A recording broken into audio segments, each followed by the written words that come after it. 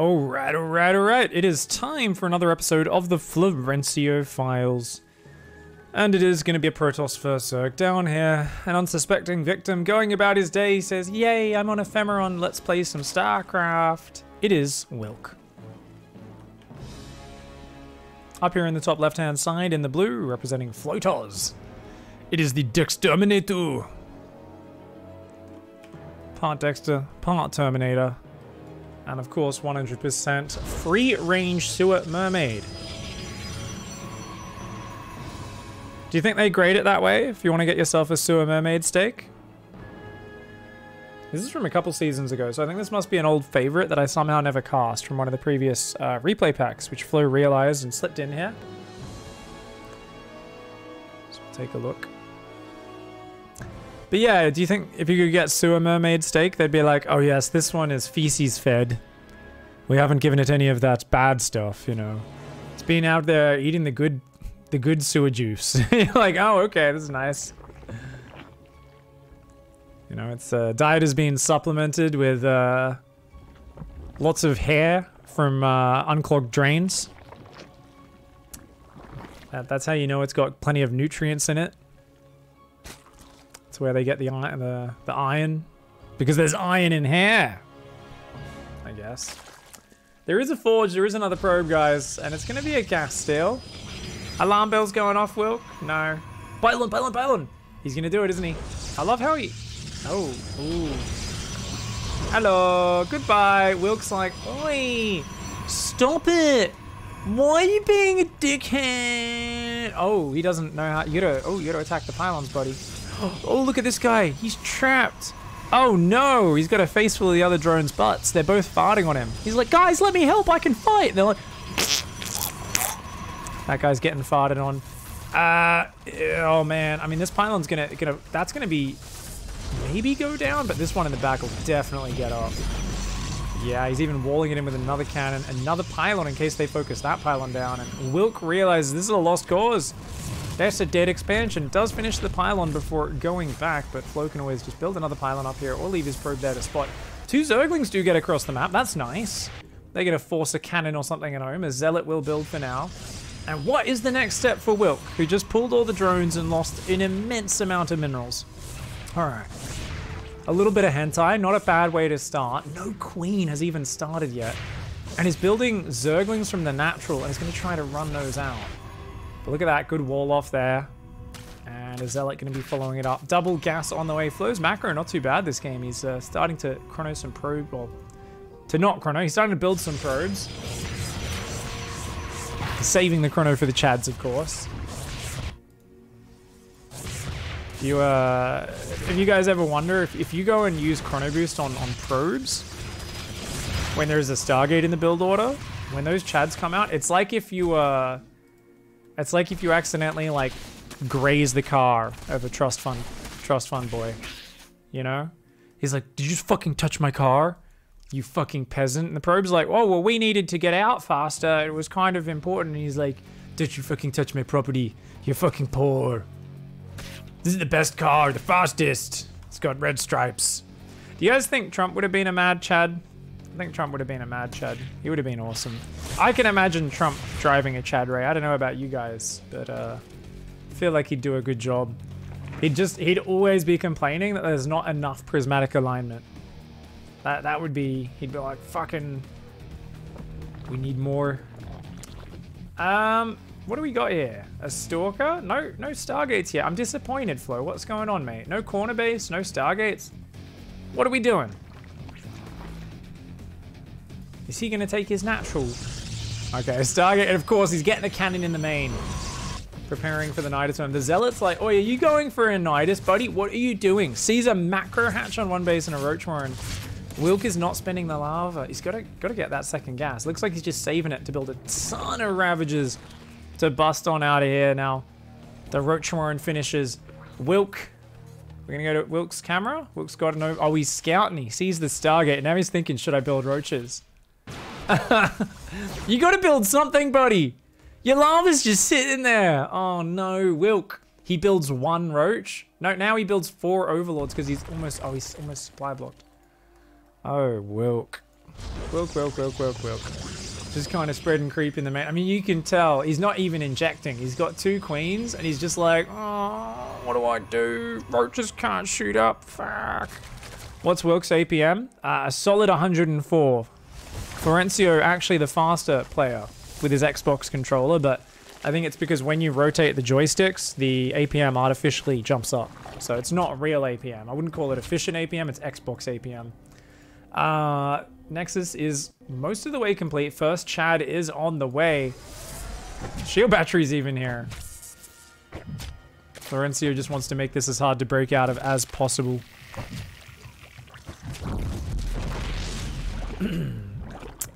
It'd be a big orange Chad Ray with tiny wings.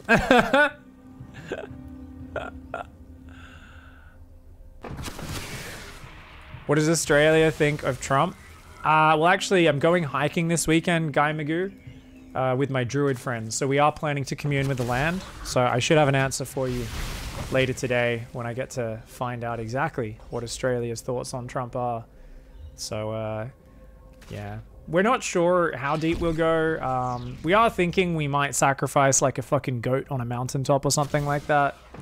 But we'll uh, we'll see how we go. Are those bi- Are you missing biles on cannons? Oh my god. Beavis and Butthead Ravagers, right? Did you just fucking... Did you just fucking miss? They're like, no, look, we hit that one. I'm like, yeah, after you missed two. Fucking Beavis and Butthead. Look, this guy's like, guys, this is how you do it. This one here, this is Hermione. Actually, that's it's Ron and Harry, and that's fucking Hermione. This is Neville Longbottom. Fuck off, Neville. No one likes you.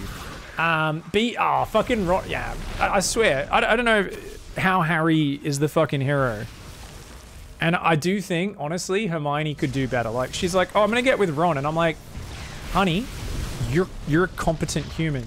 Like, do you want a fucking partner or do you just want to have a servant? Because that, that guy is literally useless and you're literally the hero of this fucking, this fucking series. And she's like, I am the only one who knew how to actually do magic and combat and fucking win everything while the other, the boys stood around, like, basically playing with themselves. But, you know, I'm like, shit girl, fucking Jesus. Well, I think it was part of J.K. Rowling's feminist agenda, to be honest. I think she wanted to showcase how women do all the work and men get all the credit. Oh! Ooh, a cheeky Nidus worm just out of vision there. So Wilk is going to Nidus. Now, what are we Nidusing? Eight queens. Holy shit, it's eight queens! Oh, God. That's a that's a Chad killing army that is, guys. Uh oh, Ravager's gonna beat cannons, Queen's are gonna beat Chads. I think I think I think we need a fleet beacon. Twilight Council is not necessarily gonna cut it. I mean, it's gonna take a while for the March of the Queens to get there. Remember, they uh, if you ask them if they'd they'd like some KFC, they always say yes, and uh, this is the result, unfortunately. Um, oh no, it's uh, it's genetic. It's genetic. Uh, we've got short legs and uh, and we can't walk off. I'm like, oh, I know, guys. Some big boned lasses. They're gonna take a while to get over there, but they're gonna fuck this shit out of those chads. If those chads try to fight them head on, they're gonna destroy them.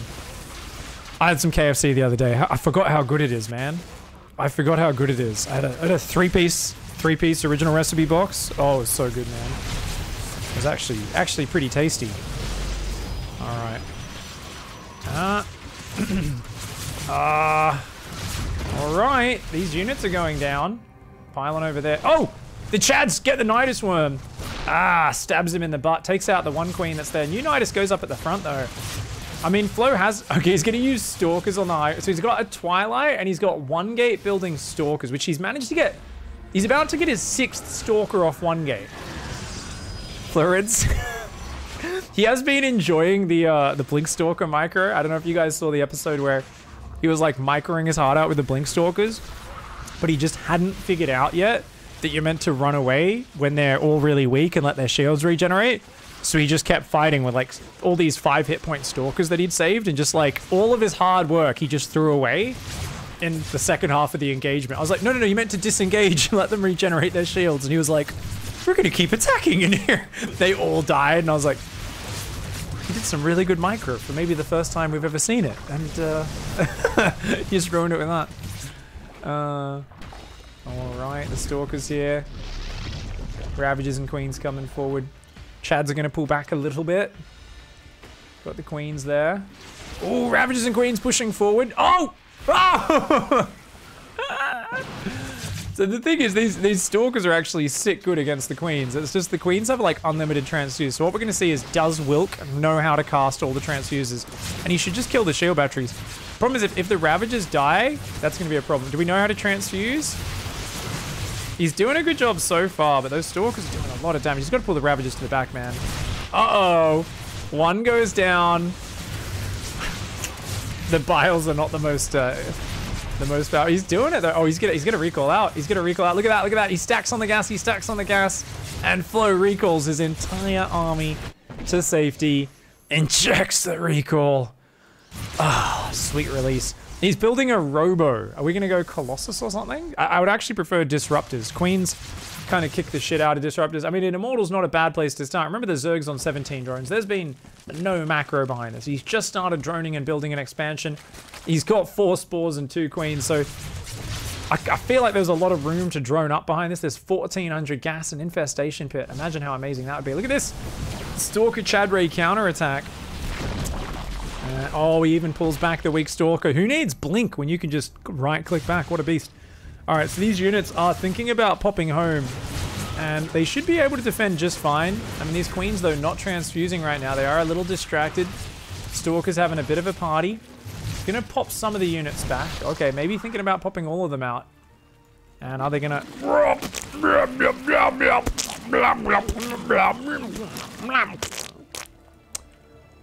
Yes, all these units have just been in and out of a sphincter a few times. I think that's honestly the most impressive thing about Abathur's genetic design. The units don't even mind. They're like, yeah, that, that happened. And you're like, dude, you just popped in and out of a sphincter. You climbed through a friggin' giant intestinal tract. For some reason, there's teeth on either end of it. We don't, still don't know why.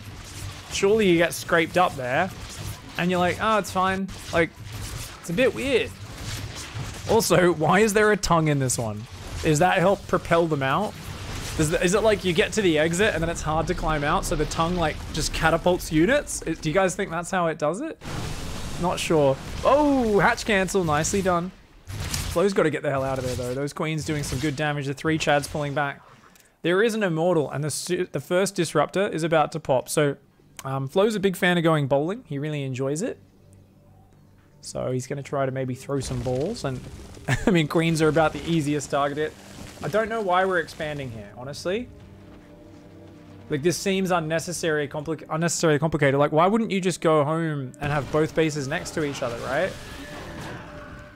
Like, I don't I don't think he knows either, to be honest. Look at this Flo's like, haha. Six pylons at once macro, and I'll distract you with a run by. Four stalkers and three chads just running around. It's it's a little weird. Does the Nidus occasionally eat a soldier every now and then? It should, hey. I really should, man. I mean, another Nidus is coming down here. Where are the balls at? Is there only one? Okay, second and third are on the way, but they're not here yet, man. If these units pop out here, Flo's in trouble. He's building batteries, but he doesn't have a lot. I mean, he's got recall off cooldown. He can bring those units home. He's looking for more hatcheries, but he doesn't find any. He's got to defend, dude. He loses these disruptors, he's in trouble. Whole army is gonna recall home. Okay. Let's see how big his balls are. First disruptor shot. Tags a queen, but only one. The second one. Oh my god, it goes deep, but he gets the disruptors surrounded. Oh, these queens are kicking the shit out of these units. All right, one more big ball, one more big ball. Oh my god, another four queen shot. Transfuse is a pretty good spell.